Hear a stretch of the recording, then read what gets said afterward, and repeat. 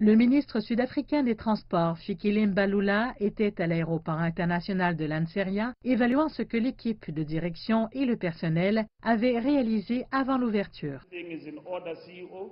Je suis heureux de revenir ici et de voir que tout est en ordre. Monsieur le PDG, je suis très content et je pense que l'ordre sera maintenu. Même si c'est privé, vous avez d'autant plus la responsabilité de rendre cet endroit meilleur, respectant et se conformant au règlement.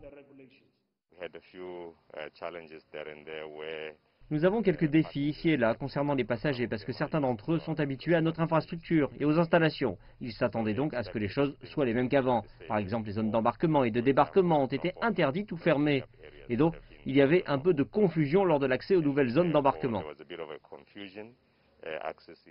La direction et le personnel de l'aéroport avaient fait tout ce qui était en leur pouvoir pour se préparer. Au niveau 3, seuls les voyageurs d'affaires sont autorisés à voyager et ils sont arrivés.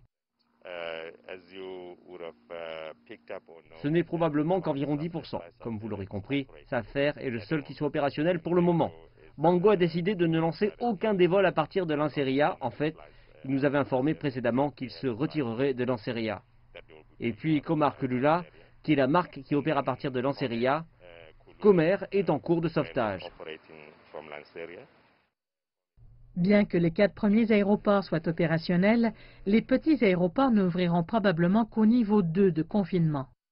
Nous devons nous assurer que tous les aéroports soient en mesure de respecter les exigences. L'ouverture va bouger plus vite, ça va avancer plus vite. Nous ne voulons pas retarder ce processus particulier.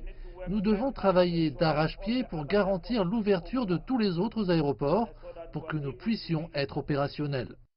L'aviation de l'Afrique australe est en crise et tout le monde se demande ce que le gouvernement va faire pour essayer d'alléger une partie de la douleur que ces organisations, dans le secteur privé comme public, traversent.